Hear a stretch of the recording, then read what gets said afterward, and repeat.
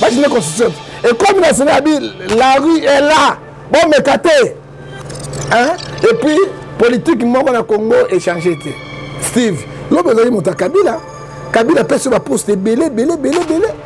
mbikai ozali nsima ya kabila sikoyo moi tisekedi aye mpo oluka ezozonga zuu ministre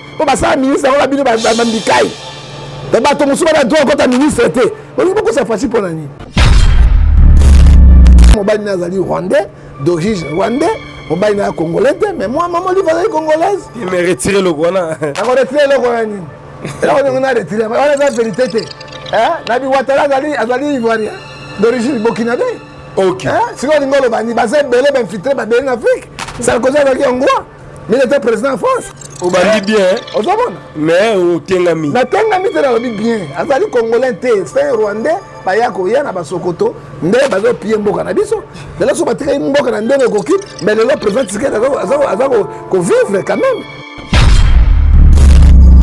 mabe ya mobali na ye mamolivre azalaki bourgmestre na congo te Maman dit azalaki député te, azalaki sénateur, sénatrice te. Hein? Maman azalaki la femme du président. Mais lokola azalaki maman une femme de la distinction motema ne ezalaki monene ya kosunga bato parce que kopesa bato ezali habitude euta ezali habitude moto nyonso akozala na milliard na ye mais azomona bato azokufa boye akopesa un franc te kabaka te lokola la maman olive nzambe apesi motema wana alors maman olive ngai nakokamata so atomisi stade mpe akotondisa bastade nyonso ya république démocratique du congo oh. à cause da bonne œuvre na ye mais okompare mama olive na nani la comparaison est pas raison hmm. sasu azali président en vie mais akeba lieutenant colonel mosusu akodeloge hmm. sasu il faut faire l'attention toza na yo obon bango balinga kotika pouvoir te epesa président temps eh, réveil bacommerçant bakotonga yango ata kosenga bango basalela bino bapesa mbongo kabila apesa mbongo ebele ebele na bapaster oyo azoyoka yango papa batonga te batya na bandako na bango basi na bango na poto na biloko na bango batonga te oh. moto aleki mama nyakero elo nani première dame nani yebisanga bamibale oh. tobandi bien olingaza kocomplike makambo sikoyo le premier dame aza nani le premier bos ezali yaa nani tisekedi tozaka deuxième bos nani tobalema ma olive troisième bos nani olive lemi quatrième bos eza ni gentini ngobila mpaka oyo kaikai baflatteur ya baflatteur ya pamba pamba bavandi nsima ja lelo lobi ya kabila lelo union sacré lobi bakomaka moto ya koya mosusu wana mpo mikolo na afrika balieutenant colonel kaka balieutenant colonel kaka il faut faire beaucoup d'attention avec bango ozomona mpo na ngai président asala yango te aza moto ya respectaka mibeko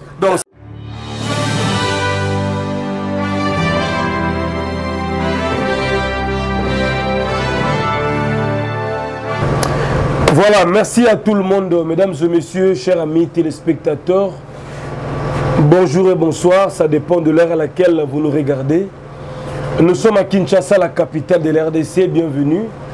Jérémy Lemba, les renards du désert est devant vous. Un grand merci également à tous nos abonnés, mais également à tous nos partenaires. On va essayer de parler avec l'homme de Dieu, le prophète du peuple John Geffa. Mais avant tout, je fais un clin d'œil spécial à celui qu'on appelle levé siège de Bruxelles, docteur Simon Mundemba depuis la Zambie, levé Gérard Saddam na manchester le vieux gomez roberto na paris et maman angèle boki nous vous saluons respectueusement maman jeanne mimba na villeneuve saint georges également le vieux euh, guillaume atondoloma portable boza tellement ebele à nous suivre en tout cas restez scotché branché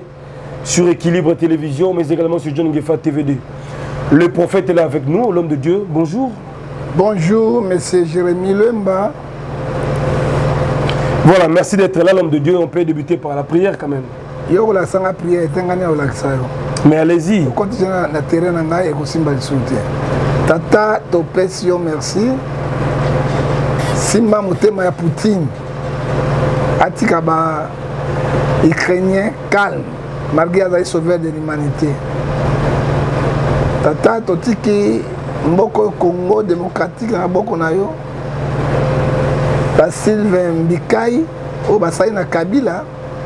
balingi bachange constitution bakomisa mandat ya 7 ans or que ne touche pas la constitution congolaise peuple ya kondima yango te bazosala baintérêt na bango personnel non intérêt ya population congolaise tata totiki badiaspora maboko na yo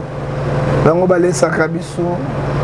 bapambolaka biso osunga bango batela bango coronavirus mosika na maladi mosusu mosika tala bana na bango tala misala na bango parce que genèse chapitre 12 verset 3 je bénirai ceux qui te béniront amen yawe na bilaka pesa biso mayele bwanya sagesse intelligence toloba yo tepa na yo banda na biso mpo osukisa na biso na komona tata mpe na mwana na molimo mosantu amen voilà merci l'homme de dieu allez papa ngefa d'abord euh, boni le 8 mars bon toya kotika basi hein? saint valentin bango le 8 mars e bango bonne année bango noel e bango biso na pasi eza pasi ya sango bisengo ya papa tosala boni bon 8 mars yango namoni eleki comme l'habitude rien de spécial esalemi mpenza ndenge ba 8 mars oyo ezalaka bambula mosusu ozomona kaka bamama Eh, namonaki awi masanga esalamaki na malamu mpenza na mboka beni no beni te mboka yango nani wanakalemi kalemi oyo atondisaki stade mobimba mpo na honneur ya bamama nzambe apambola bango epuis il faut topesa bamama honneur mingi mpo bango nde babotaka biso bango nde bamelisaka biso bango nde basalaka biso epuis baprenant enseignant na baenseignant te na vie ya moto ezalaka mama toza na barespect na bango makasi eh, alors mama nyonso meme mwasi na ndako azali kaka mama parce que bango bayebi kobatela biso na nyonso que l'honneur et la gloire revient à ma maman nyonso surtout la plus belle femme du monde jamais vu ma mère batondoko edoxi itojo oyo aleki basi nyonso na mokili na kitoko apart mama santu maria mosusu aza te kolo apambola voilà merci l'homme de dieu mais odevancenga quand même sanga losako te losako l'homme de dieu poutine atelemi mokili epalangani mbangu losako prophète mm. bala edoxi omona engonga eleki okola itebe edoxi yao yao au voilà Euh, le sang au prophète. Voilà. Euh, C'est entre nous, mais au moins il y a quand même déplacement à l'ancienne première dame, maman Olive Lembe. Kabila avec une forte délégation na Grand Katanga, plus précisément na Kalemi. Elle est arrivée à fêter ma maman, mais tout le monde stade rempli.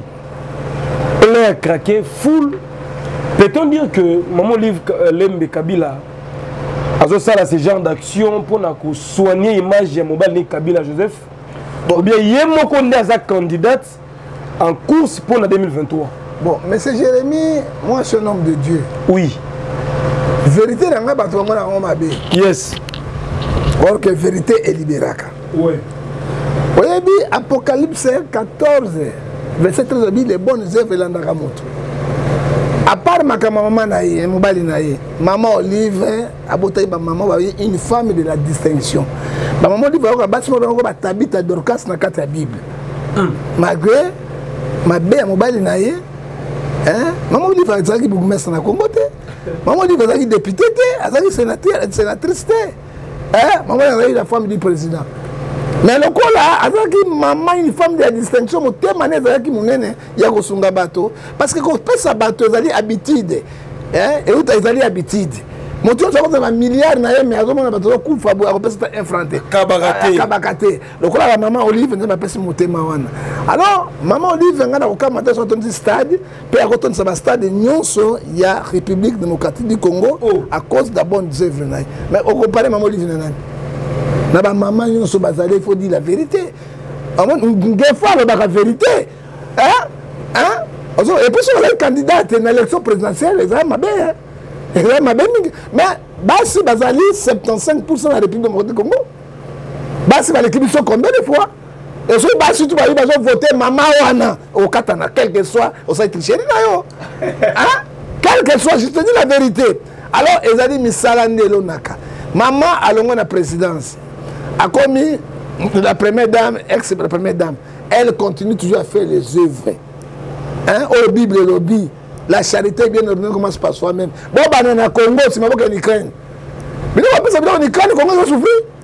boyebisa basoda bake na ukraine tandis ke tozali deja okipe na est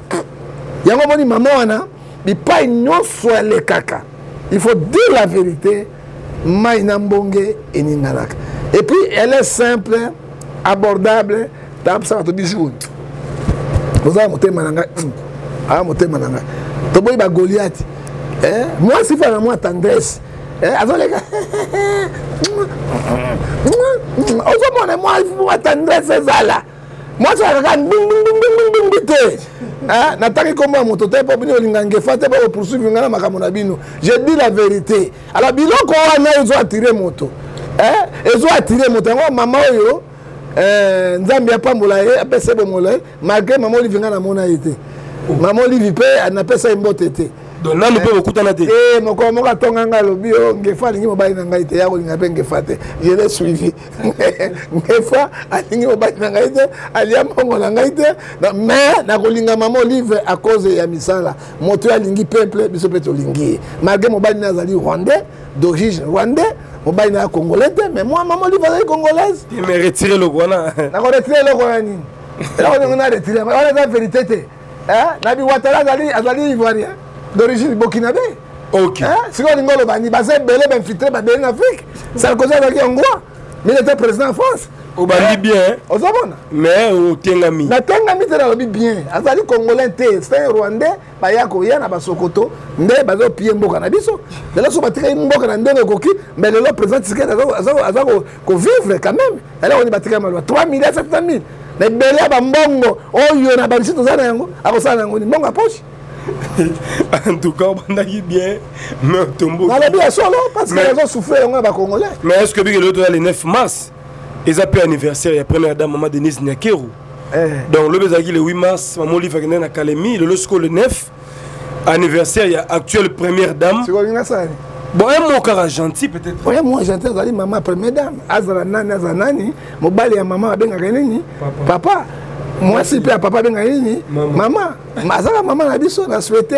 mama mbula malamu mingi bakoma kola yo te okanisaka mpe bana oyo bazomona mpasi na kati ya congo démocratique tozali ensemble moto aleki yo aza te parce que ozali numero 1 nombre 1 soki moto aleki mama nyakero elo nani première dame nani yebisanga bamibale oh, tobandi bien olingi aza kokomplike makambo sikoyo ngo première dame aza nani le premier boss ezali ya nani tisekedi tunaka deko ya boss nani toto bana mama olive tunaka ya boss nani olive lemi quatre ya boss ezani gentini ngobila mpaka oyo kaisola ntula nina bengai 6600 volt nasukia sikoyo mama nde sikoyo akangami pa papa hmm. ok mama sikoyo akenda akangami pa papa toloba nini Voilà, merci beaucoup l'homme de Dieu. Je pense que Congo eza mboka na biso mais il y a beaucoup de choses ezoleka na Congo et également tokosinale mpe que maman Olive Lembe auti koconstruire église catholique ya monene na Goma cathédrale oyo apesi basango comme cadeau balobi eza classe lelo troisième plus grande église catholique après ya Sénégal et consort mais est ce que église de reve bozala mpe na souci bapesa bino bata cathédrale te oh, zala yebisa bino eloko moko hmm. ozosala publicité ya mama olive nano élection présidentielle ekomi na ote tasala publicité mais yo olobi ke moto akobatre eza te ah, papa nasala baluki hmm? nasala baluki na ngai soki ozomona te ozosala publicité na eloko nde bandi nano te eh, ozomona yango nano te eh, mama olive mama olive mama olive a première dame te ma première dame lelo ezali ne mama nyakero moi je préfère oyo obela mingi mama nyakero oyo papa tisekedi oyo azali président Hein? mais tokobosana te makambo oyo ozali koloba te lisolo ya cathédrale batongeli église catholique est ce que reve mpe bana bopansaka biloko mwa bongo réveil ba commerçant ba kotonga ngo ata kosenga bango basalela bino bapesa mbongo kabila apesa mbongo ebele ebele na bapaster oyo azoyoka yango papa batonga te batya na bandako na bango basi na bango na poto na biloko na bango batonga te oh. ozomona mama olive azali eh, mama moko nabaki femme de la distinction ezali motema na ye akaniseli bamupe kotonga eloko monene wana atongeli nzambe ntango oyo atongeli nzambe nzambe mpe akotonga bomoi na ye nasuki wana voilà merci beaucoup alors euh, parlons, parlons de la politique purement lisolo ya eh, révision constitutionnelle na mboka na biso oyebi que mandat na congo ezalaka ya 5 ans renouvelable une seule fois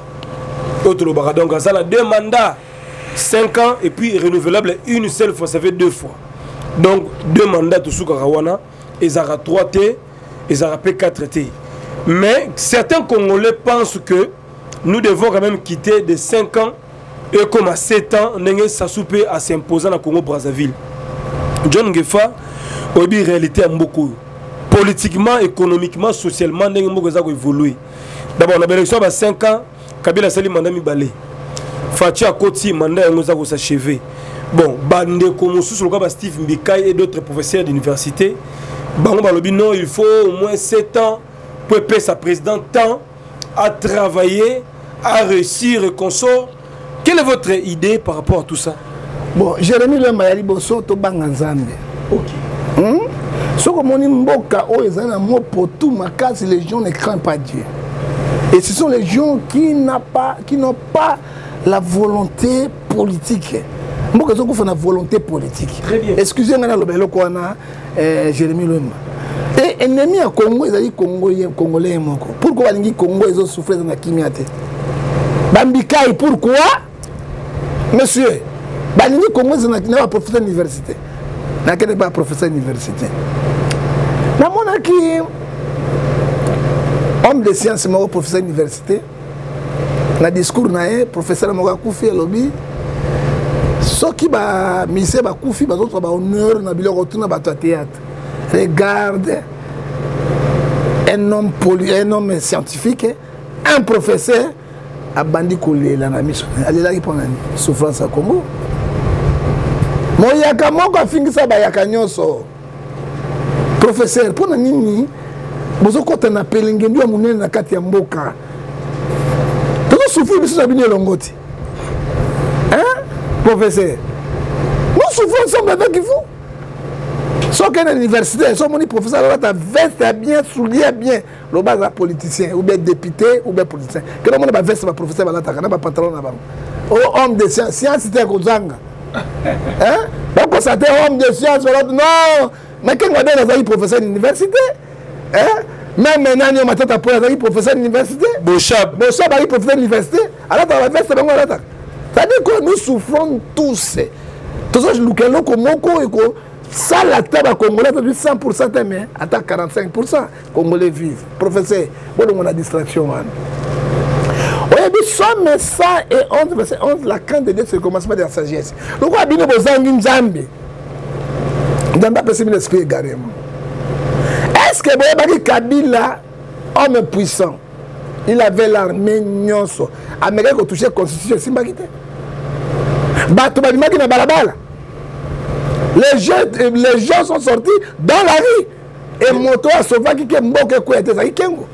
ntango ye président parlement ya sénat alobi attention badepute bandimaki te bachinge constitution te ekomi na sénat abi la rue est là bomeka te et puis politique moko na congo echange te steve lobi ozali moto ya kabila kabila apesi yo baposte ebele ebele ebele ebele mbikai ozali nsima ya kabila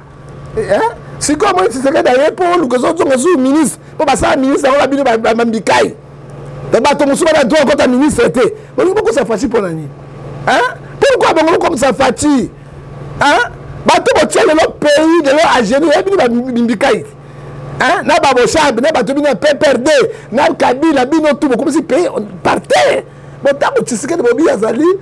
eh, eh, azali démocrate il doit respecter la constitution et bokotouche yango te l'état de droit eh, l'état de droit bozoloba yango eh, korespecte mibeko ya mboka na constitution ya mboka lelo boyi kokosa président ntango mosuku ekoya bino bikai oyo akoya nsima to na coup d'état to na nini bokolanda ye bokolanda ye bokosundela bosundela kabila te baosundola mpe tshisekedi na ngai nabobisa tshisekedi boye président ya république olanda bato wana te badistraire yo na politike olobi orespectaka biloko na yo kotouche constitution te sala mandat na yo sala candidature na yo soki okoleka osali de mandat na yo soki mpe esimba te nzambe moko ayebi mais botia lisusu mboko na genou te lokola poutine na ukraine parce que morale ya bato eza mabe soki mbika ameki yango bapuya yango na badepute eloko ya malamu ekobima na ville ya kinshasa te il faut bokeba mingi parce que siège ya bainstitution to yaka kinshasa soki kinshasa ya tombe et c'est fini alors si je comprends mieux l'homme de dieu le prophète ngefa oza contre mandat 7 ans ndenge ezala na brazzaville brazzaville na 7 ans ta na 5 ans toujours te bakoma na 7 ans bon ça 7 ans la comparaison est pas raison ça soit azali président en vie mais akemba lieutenant colonel mosusu akodeloge hmm. ça suit fa doit faire l'attention toza na yo obon bango balinga kotika pouvoir te epesa président temps eh, ya kosala mosala ka biloko wana ata hmm. deux ans tu peux faire quelque chose wana volonté politique tshisekedi sans procès mais aza na bato entouré mabe ce sont les mêmes gens ya kabila bazongi union sacré mpo na kokosa kopesa mo potina pelengendu tisekeli azobunda lokola mobali abundaka quand même tokoyeba kaka eloko esimbi te mais tozomona mwa bamiazo moke moke moke asala manda na ye ozomona ke bakosa ye atouche constitution na banzala na bakanda eza epai ya bato mon cher ami ekozala eloko ya malamu na république démocratique du congo te asala yango te parce que ye akotaki na mpona nini arespectaki baconstitution kabila n'a pas fait ça mm. akoki mpe kochange constitution atombe na erreur wana te atombe na erreur wana ya baflatteur ya baflatteur ya pamba pamba bavandi nsima jale lolobi ya kabila lelo union sacré lobi bakomaka moto ya koya mosusu wana mpo mikolo na afrika balieutenant colonel kaka balieutenant colonel kaka il faut faire beaucoup d'attention avec bango ozomona mpo na ngai président asala yango te aza moto ya respectaka mibeko donc 5 ans ça suffit 5 ans mais, mais kongo ezobonga te papa bapesi bamanda ba 5 ans mboka ezotikala kaka inacheve ata bapesi manda 50 ans soki bato bana volonté politique te ekosalema eloko te corruption hein? détournement corruption mikolo toka badétournement wana bamillion de million oyo bazodétourne bakotonga mboka ndenge bakotonga yango nini ata biso 50 ans ya manda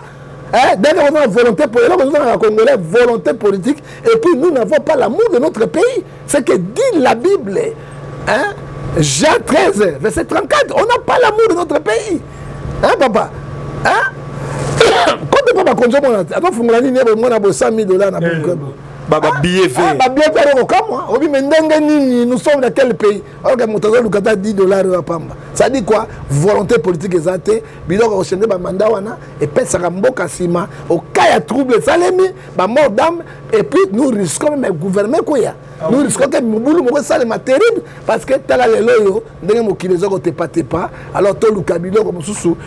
tose glisse na poso na, na poso ya etabe te voilà to glisse na poso etabe te comme l'a déclaré l'homme de dieu le prophète du peuple john ngefa c'est tellement dangereux très dangereux na congo ezalaka kaka baproposition balwa moko ezanga motuna makolo oyo ya peuple balobaka oyo ya peuple social ya peuple elobamaka te intere na bisobalwa moko ezanga motuna makolo pourkui kabila asina yosaki 10 ans te azalaki na deux chambre ya parlement makambo asalaki te mpo na nini abangaki amonaki amekaki e mais amonaki mosoko elandaki ye hmm. eh, et puis ecclesia chapitre 25 ya 4 eloko ya sika eza te toluka balwa mpo na éducation ya bana encadrement ya jeunesse kogere baeglise mpe ekoti mpe trouble makasi obiki baeglise mpe porte desordre na mboka lom dudie makasi baeglise ekomi ebele chaque aveni église soki olobi église na kotelemelo parce que babare eza ebele bakuzu eza ebele bahotel eza ebele baboite de nuit baboite de nuit eza ebele pourkoi botelemaka mpe église église ezosunga mboka papa tapage makelele tapage na poto baeglise eza te esika démocratie efanda kuna france baeglise eza te angleterre eza te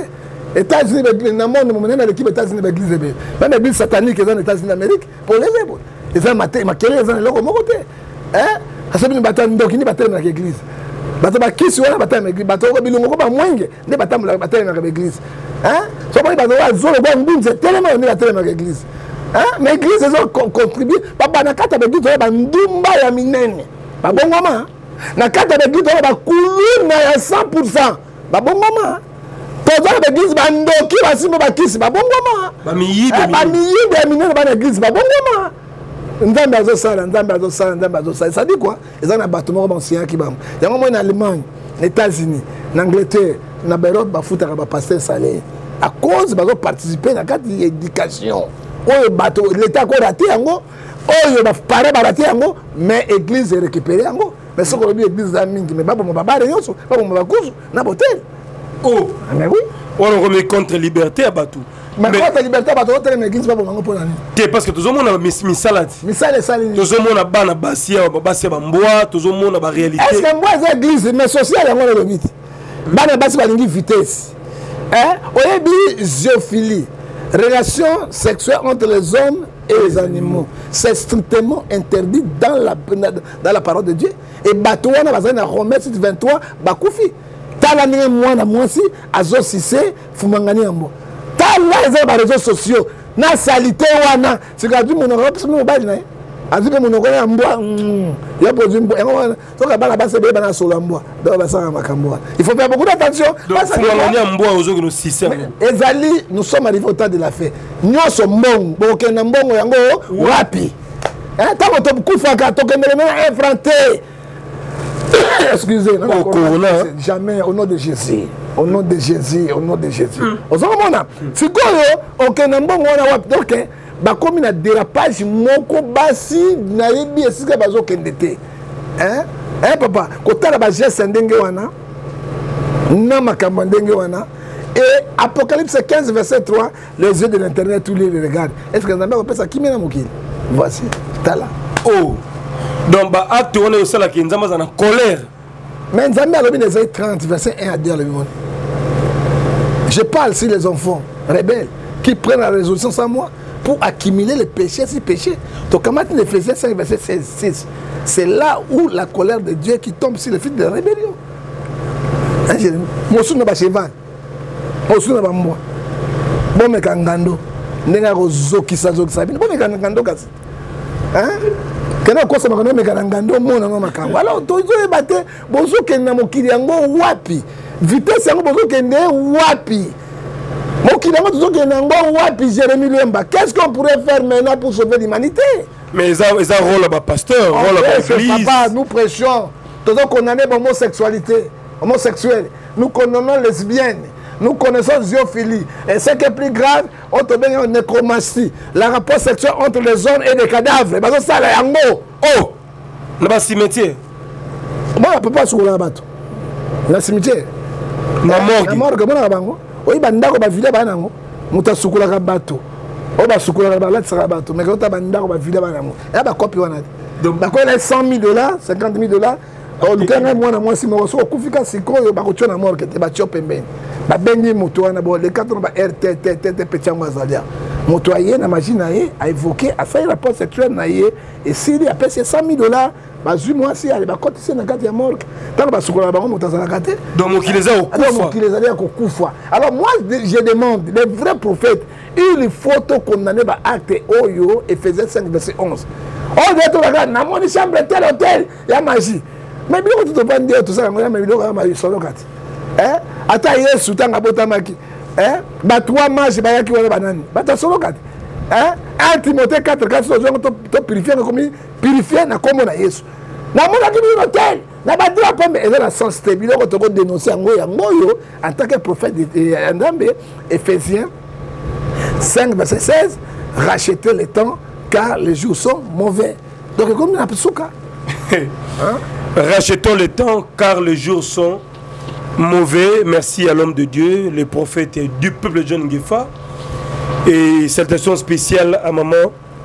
sema mayasi femme légitime agence mayasi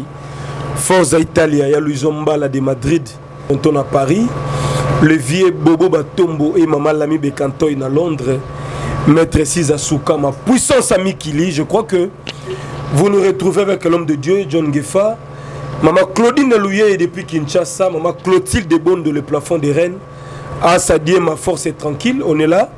Abonnez-vous massivement, partagez l'émission, commentez. Je crois que la vérité est belle dans ce que nous sommes en train de dire. Exhortation également, conseil en même temps, nous devons faire attention. La bête est là, comme l'avait dit euh, Macron. Macron, Macron, il a dit ça. Il a dit e. ça, hein, que la bête est là. c'est 13, verset 1 à 18. La bête est là, elle est déjà là.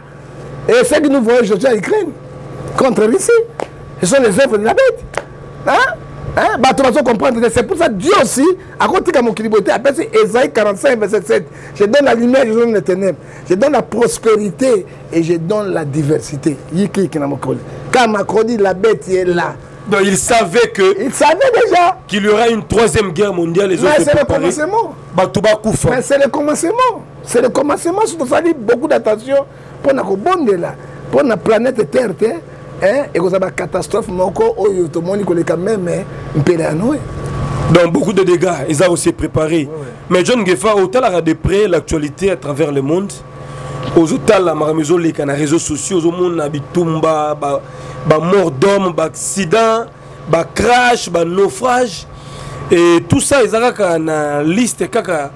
to mpe ezali eh, planification kaka ya fin du temps non tokotanga na kati na biblia très rapidement na matthieu 24 verset 7 parce que toboyi bible c'est notre constitution yango katholike alobi oyo aza na mato ya koyoka ayoka alors totanga yango ndenge biloko olobi yango matthieu 24 euh, on peut lire tokozwa verset 7 kebi matthieu 24 verset 7 yango omoni jérémie fo bozwaka bato baza na matière bozwaka bato basalaka baaventure te e na matière 7 24 verset 7 elobi boye tobandi na 6 vous entendrez parler de la guerre et vous verrez la guerre Gardez-vous être troublé car il faut que ces choses arrivent, mais ça ne sera pas la fin du monde. Biloko ekosalema mboka mosusu eza koenvahir mboka mosusu akoti yango eza indépendant souverain bato bazokufa mais président akangi kaka motema tosila na bango hmm. ezali biloko oyo elobaki ya temps de la fin 7 une nation se révéla contre une nation royaume contre notre arme il y a les différences liées de la famille tremblement de la terre alors tout sera ça sera le commencement de la douleur na 11 ekei Plusieurs faux prophètes se révélant, il séduira beaucoup de gens. Ça dit quoi, M. Jérémie bible elobi yango claire na matthieu 24 7 jusqu'à 11 oyo tozotala yango ezali ebandeli ça sera le commencement ce n'est pas la fin du monde au commencement de la douleur tala bombe ebeti pru otiki bamilliard biloko nyonso na ndako oti sor aveki kaka bilamba olati c'est la douleur ozalaki riche na monde riche na vie na yo me ndako tu ekiti otikali pauvre mokolo moko okei exile sede kua seke yo amora semeni mwasobira yango bato bazofuta les gens ne peuvent pas comprendre monsieur ozo komona tala bato bazokufa tianga tianga à cause de batrouble moko mondaine ekoti na mokili mais moi je peux dire na bato nyonso ya mokili celui qui persévère jusqu'à la fin sera sauvé mais tozonga na repentance joel chapitre 2 verset 12 eloko nini ya mabe oyo ngai nasali nzambe alimbi so parce que mokili oyo se tokende lii tozokende na yango oyo eloko ya malamu ekozala lisusu te voilà merci pour euh, cette interpellation l'homme de dieu mais bandeko mosusu bakomelaka baesinga moto ya mbaka john ngefa il est quand même euh, aimé na diaspora to, to, on suppose qu'il est aussi aimé au congo mais aza prophète du peuple quand est ce que akosala mpe campagne d'évangélisation oyo ya monene na mboka so bofinanse ngai na kosala mais baninga baosala bajeune prophète baosala te ba jeune évangéliste babimi sikapapa ba jeune bazoskoke bato na bango église na na deux mois awa na futi te na deja na menace na kati ya ndako sukasuka bokani jonenge famille banda na kosala campagne gestion na escatologue nayebi makambo ebele ya koteya mpo na mokili ebongwama et on me suit partout surtout télévision na yo chaîne na yo balanda ngai partout naa na mbongo te ya kosala bacampagne oh. campagne ekosenga ba 10 000 dollars 15 000 20 000 dollars instrument pamba yozwa to ba 8000 dollars 10000 dollars instrument pamba nakozwa mbongo yango wapi ole nasambwisa nzambe te nano sengana na miso ya bato te nakolinga natikala ndenge nazali nateya Matthieu 18 verset 20 là où se réunit deux personnes trois mots trois personnes je suis au milieu de soko bimisi mbongo na 30 000 20 000 sala campagne nakosala yango je suis populaire ebongo sikoyo bajeune baosala yango ndeni papa la comparaison est pas raison kotina ngai na nzela na bango te nzela bazwaka mbongo ngai nayebi te nayebi te nakokota na biloko wana te moi je préfère contacte to de seketia nalia na mitoki na ngai eosala ngai mokosa na kingo te mai nakɔta nakɔta nakɔta ce sont des magie bamagicien baformation bazoeskoraka bato na balopango na makambo ebele ya magie peti mwana moko tozalaki na ye ipale akoma pasteur to prophète akoti makala deux fois oh. escroquere mwasi deux jipe ya minene ateki yango akokende poto amoni nzambe estce mundele mpena koyebisa eke o oh, nzambe akopambola yo mpo minda nzambe apambola bango o oh, okoza beni abaa na benediction na bango ozomona nalingaka baeskokeri wana te so nasali campagne na ngai ekozala ya monene ya monene ya monene epuis bato ebele bakobika parce que c'est la vérité qui libère ce n'est pas des mensonges. Parce que le père de la vérité, c'est Jésus, Jean 14, verset 6. Le père des mensonges, c'est le diable. Dans Jean 8, euh, 43 alors 44 moi je ne peux pas faire ça mpo nasala campagne na bango so attends jérémie vieux 3000 dollars yango nabondai mpo na yo martine 1000 dollars yango nabondai mpo na yo oyo aye na ye 1000 tokangisi mbongo wana tokosala mosala mais sikoyo une question de curiosité bapaster ya mingi toyembaka na batelevizio so baleki mama benga mpo na basante na yo benga mpo na kindoki na famille balien bamari de femme de nueske yo mpo osala bato bapriere john gefe pona nayoka te osi bato bobenga bokozwa guérison miracle oui nazali moko oyo nzambe aitilisaka ye na guérison miracle terrible extraordinaire yesu moko alobi soki obondeli mpo na moto abiki kosala publicité te bo basalaka publicité na bayoutube mingi eh, bango wana bapaster ya bayoutubers eh, bana baeglise te mingi wana moi je ne peux pas souve telle chose nakosala propagande ya guérison te biso jedi ki guéri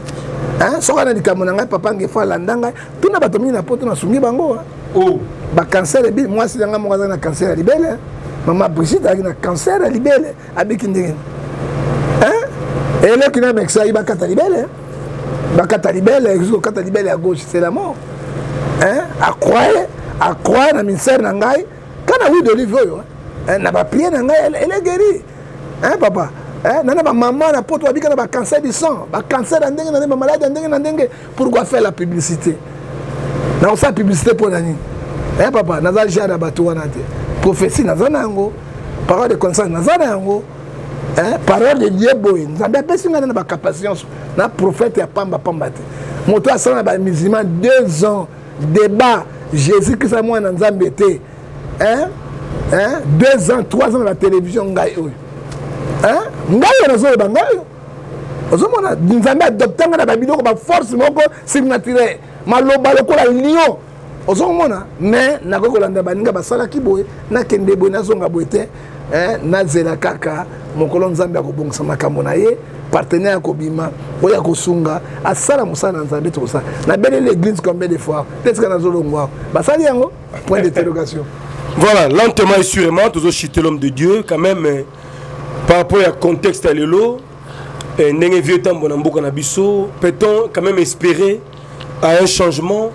est ce que totia quand même confiance na biso 2023 ozomona yango comment namoni baacteur mingi bapoliticien mingi ya ensemble ensemble oyo moïse katumbi barejete katumbi batraverse ngambo ya union sacré pa tshisekedi estce 2023 bazongi sukuna te bautaki pa katumbi bakenda mwa pa tshisekedi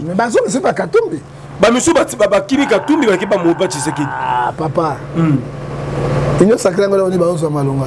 oyebi daniel safu oyebi eh, daniel safu oyebi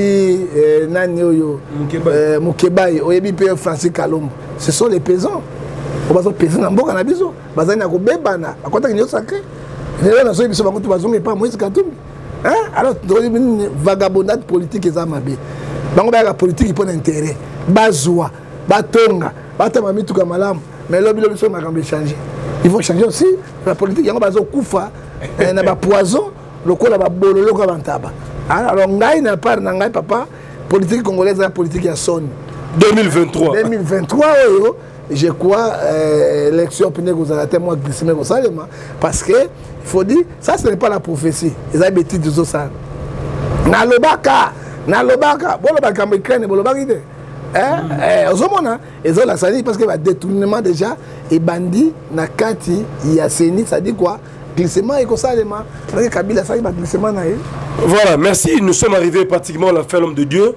et peut-être euh, un message na corps du christ hein? lelo église mpe bato bamo banga na bakoki baeglise mwa méfiance ekoti bon lobi nasalaki émission na pasteur ejiba ya mapia un doyen oyebi ye très bien miviste c'est-à-dire bamiviste wana bakende bakabina bango olivole valeur wana edi te azalaki nde politicien akomaka nde député est ce que yo koyebisa ngai bato wana ngai nakoprendre yo ngai nasalaka bareunion na bango nabima kobima yo koprendre ngai to ngai naprendre yo yo lakisa bato bajournalisme ngai nayebi bango pourkui nalobi bazali baminviste mpo nani te ye aza ya modèle bato oyo babundela évangile papa c'est un père olobi ye aza père oloba sikoyo na mozali na balani te kasi génération après natuni yo zela soki ye aza génération après alobi yo solo ya père okoloba sikoyo papa kele nakufi te nani soki olobi azali père yo koloba sikoyo na papa barute boni kasi bango na bango ti na bamutombo kokompare bapapa barute na mutombo te papa barute ya likolo na bango ozomona epuis bato totanga ba modele te oh. nalobi ne sont pas modèle nayebi bango à 100 pourcent fai tozwi mbongo epai ya kabila bazalaki na 12 apotre bayokabola mbongo naye mpe oui na kati ejibabe ya grand mpenza miviste oh. oh. mais sikoyo yo moko na kati ya baserviteur de dieu ya congo oza na catégorie ya banani yo to classe oyo na génération nini euh, romain 14 verset 4 nzambe atindi ozala juge ya bato te oh. tu n'es pas juste de l'homme de dieu tika nzambe moko ajuge biso yo oza na catégorie nini naa na catégorie nyonso yo oza na baroger baka oza na ba esi okompare nga na roger baka na yo moko ozozongisa ngai nsima toni na yo moko mpenza hmm. yo okompare nga na baroger baka oyo yo oza na génération nini na baseda oyo oyo ya selembao eh, prophète seda oyo akufaosumisa ngai oyoba likambo na ngai eza na télévision grave po eloko na ngai aloba awa ekobima mabe mingi parce que toaki omoni yo tobandaka bien ozaka tu ngosisa émission il faut tumbola ngai mais ntango nabimisaka baretour ezongelaka ngai ezongelaka yo te ozomona na na catégorie ya banda papa edina bala depuis verno papa kelani ti na dernière catégorie nazali nyonso parce que nazali ézéchiel 33 verset 7 comme sentinelle donc génération na oyebi yango te etant que pasteur hmm, oza prophète ya lelo lelo ya lobi obundi na banani mosala ata ba 17 ans comme prophète comme ministre hein nabimi otoproclame te Hein, nasali ba coupe bino bino boye nzembo na ba Marcelo nasali eh biso ba Marcelo ba Marcelo ba Marcelo eh. te masolo abanda eh. oh, tika biloko wana masolo aumeli ndundu okomona nani wana wana motinga bawalo eh, boza bagénération moko me bango babouge kin babouge mbokabouge mboka nini babougea mboka na baparole oyo ezoedifie bato c'est john ngefa ki abouge mboka na ba Roger Baka il faut dire il faut reconnaître faut pas reconnaître ba Roger Baka wala pour reconnaître ba Roger Baka te te wana internet bo bouger na réseaux sociaux papa mais ata plein moko te Roger Baka sala plein et sala eloko te hein bible ezoyebisa biso na matthieu 18 20 place bato mibale misato basangani yesu aza wana plire ebandaka nani na mibale te epuis baoyo nyonso baotongisaka baplainte libanda oyebi ke bana magie batasoloka oh. nakoyebisa yo masta na ngai akufa mpo na niaka nakozwa kisi na bandundu oyo nani neben mpo atondisaka baplein wana il est maintenant passé la terre ana mabele ekunda ye oyo bi seda abandi kotimolo bato plein omoni seda libanda seda akufa apola na morgue babete mabanga attention baki baplein wana mais ngai nakolanda oyo bible elobi mibale misato basangani déjà plire ebandi na dese plein hmm. donc oselimite kaka wana merci Euh, nous sommes arrivés à la fin peut-être euh, un message clé na baconglais baotala biso na bachrétien e namoni mpe kofi bazobeta miziki na davido ezaka miziki ya mboka okoloba nini ngai naza kuna te yo obenzangi bakofi mpo nasala bakofi nini tangela ngai mama oyo azokɔta sikoyo na toma lokofe eh, bazokɔta sikoyo studio babimisa eloko ya nzambe tangela ngai bango mais kofi mpe aza congolais te yo oloba aza congolais mpe aza motu na yo tomoni ke échange culturel na davido ça peut même apporter quelque chose à mon sein toi toi elobi bato mibale bakotamba zibayoka to molimo moko te biso toponi nzela na biso bango baponi nzela na bango touche mene ya rome tuna ngai makambo ya nzambe na korépondre parce que musique ya kofi na badavidio ekoapporte ngai john na bachrétien eloko te ekomaka bato kaka badistraction tuna ngai miziki ya mama oyo babenga shabani oyo azokota studio na toma lokofe eh, na moto abetaka oya bikonda wana eh, eh, ndeke na biso wana tuna ngai bango mpa soki aporte mpo na lokumu na nzambe bango bazobeta nini jean 1243 ils aiment la gloire du monde que la gloire de dieu ekoti te okotisa wana oza banzembo na bango soki ngai mpena papa chrétien navandi bana tomonaka ekoti te ekotela wapi naza sur et certain ke pa mission okende su te nakokende ta mokolo nakokende te parce que ata wer abengisi ah. oke su te jb nakende mpo na kobondela papa yebaki mwana na ngai s'il y a un problème j'interviens soki esuki termine palndenge okendaka pa kofi mwa visite coup de courtoisie pa messieur okende suki ya kofi il avait le problème problème nesili omonaka na ndaka kofi esila esila omonaka na ndaka kofi eh, papa nakende na likambo songolo papa wemba nde abandi kosambela epai na nga pauvre papa wemba dimanche ayei asambeli tokei nakei na ndako nasali bapriere ozoma il y a différence il y a le croyant et le chrétien est ce que bamisi babongama bakobongamaka mokolo te alors badistraction wana nalingi yango lisusu te tangelanga makambo ya nzambe je vais te répondre makambo ya mboka nakorépondre yo bible elobi yango Malachie chapitre 3 verset 18 vous verrez la différence ce qui sert Dieu ce qui ne sert pas ngai nakofanda boye ah nayoki miziki héritier ntango ebetaka yokisa ngai biloko elengi mais wana azali mpenza antichrist na na kati ya zamba monene wana miziki héritier eliningisa ngai nzoto ndenge nini parce que héritier azoyembela mokili azoyembela nzambe te la différence ezali ngai nalandi modèle na ngai ya papa ezali papa oyo tobengi baruti c'est modèle ozomona papa wana nzambe apambola ye hein, apambola ye makasi ata azwi pension dieu le bénisse parce que après adi na bala papa verno et puis euh, papa kelani pata eye papa wana alakisi biso elengi ya nzambe eyi na jamais trahi euh, te akomi na pension euh, mosala ya nzambe me otanga yango basongolosongolo bato ya malamu baza na kongo wana voilà merci charo nous sommes arrivés à la fin Le Vecezo de Bruxelles, Docteur Simon Mundemba depuis la Zambie, le V Gérard Saddam na Manchester, le V Gomez Roberto na Paris et Mère Angèle Boki, nous vous saluons. Maman Jeanne Mimba na Villeneuve Saint-Georges, Maman Clotilde Bondo, le plafond des Rennes, il y a Louison Mbala de Madrid, Assadie, ma force est tranquille, il y a Papi Sapo na Paris. Il y a Papi Ngolo de la Louvière. Il y a Papi Ngolo de la Louvière. Boza tellement belé, levé Guillaume Anton de l'homme à portable, je vous salue respectueusement. Le conseiller Papa Philippe Kabouikou à Fribourg, en suisse le géant de Berne Doucouré immortel. Le géant de Berne Doucouré immortel. On est ensemble pour de vrai. Un grand merci à tout le monde. On est là. ezo na tumbi yo awa okokata émission te okolela okolela continue kaka mabanga yango mabanga te wapi napesi yo pesa bijou ngefa mbote na bato bazala na biso napesa ata moto moko mbote leo te parce que jésus christ l'homme de galilée c'est vrai c'est vrai je ne donne rien donc bazo soutenir sur yo te te mpo na kosoutenir te lelo nalingi nga nakumisa nzambe yesu mpe euh, mpema na bomoi la gloire et l'honneur revient à toi Seigneur Jésus-Christ. Ça c'est bien. Et pas à mon tu la déception c'est déception. Déception. OK. Alors ça là a capé la mort yembela nzambe ata vocal moko tout kabon. Na yaki na mawa azongi na sengo lakisi ya minene au nom de keke au nom de Jésus keke na soki wana. Voilà. Merci, merci, on est là, voilà. Abonnez-vous massivement. Partagez l'émission, commentez, bye bye chez vous